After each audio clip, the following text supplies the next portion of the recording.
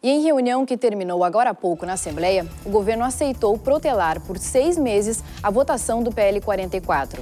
Em contrapartida, os estudantes vão desocupar o prédio do Legislativo. O acordo também inclui melhorias na merenda e a definição de um cronograma de obras. A Justiça não atendeu o pedido para desocupação das escolas feito pelo Estado, mas proibiu os estudantes de bloquearem as entradas dos estabelecimentos de ensino. Mais informações com a repórter Marta Croce. Após 35 dias de ocupação, os estudantes começaram a deixar o prédio da Assembleia Legislativa agora no início da noite.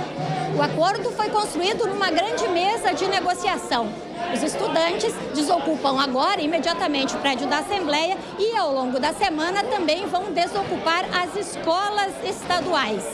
O acordo vai ser assinado amanhã às 10 horas da manhã. O governo, em troca, se compromete a não votar esse ano o PL 44, que estabelece, entre outras medidas, a participação da iniciativa privada em áreas como a educação e a cultura. Marta Croce, para o segunda edição.